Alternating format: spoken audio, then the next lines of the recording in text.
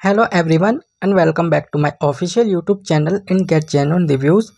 Our today's topic is Onshipbe reviews. So friends, first of all, I want to tell you this is not my website and making this video only for you so that I can save you from scam websites. This website is very popular in the United States.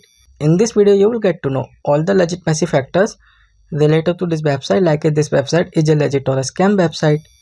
So my dear friends, this is an e-commerce website. As you can see here this website is offering you multiple types of clothes and shoes collections as you can see.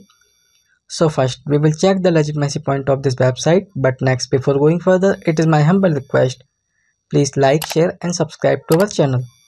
Now come to the point.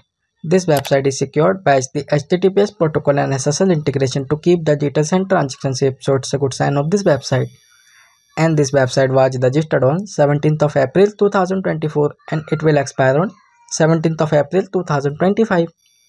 So in the conclusion of Onshipbe reviews, this website seems scam website because this website is very new and this website has very low trust score, only 21 out of 100 which is very bad trust score.